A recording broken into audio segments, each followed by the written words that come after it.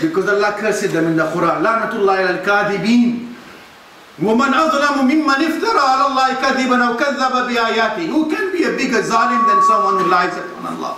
And the Prophet sallallahu alaihi wasallam said, "Man kadhiba alayya muta'ammidan falyatabawwa maqadahu min an-nar." Whosoever lies upon me deliberately has secured a reservation in Jahannam. Mirza used to say Allah's name, and the Prophet sallallahu alaihi wasallam named me Masih Maud, and he wanted to emulate Rasulullah sallallahu alayhi wasallam and he claimed because I followed the Prophet totally 100% so I became a reflection of Rasulullah.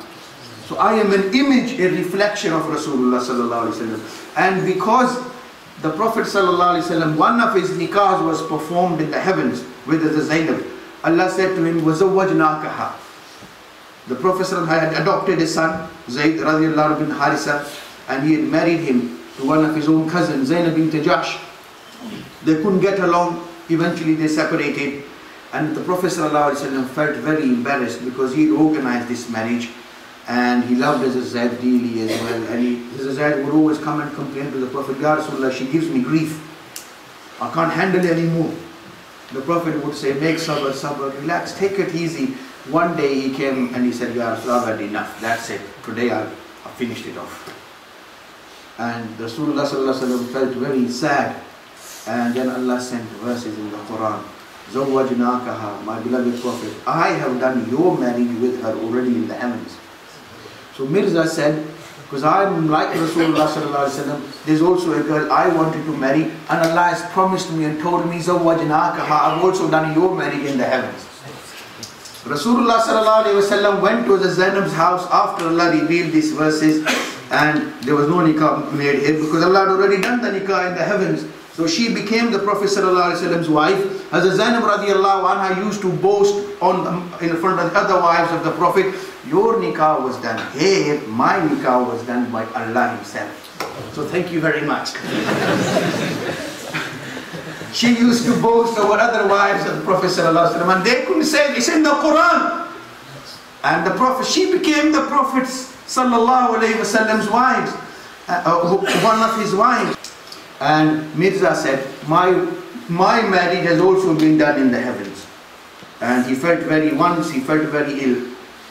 And he threatened the girls, Muhammadi Begum, her name was, her father, that if you don't marry her to me, Allah's going to kill you. She's going to die, you're going to die, and you'll suffer, and you'll have all sorts of problems. And they said, I don't care, I'm not giving you my daughter. he found another man, his name was Sultan Muhammad, a young man, he was a soldier, and he gave him his daughter. Mirza got very upset. He goes, she's definitely going to die.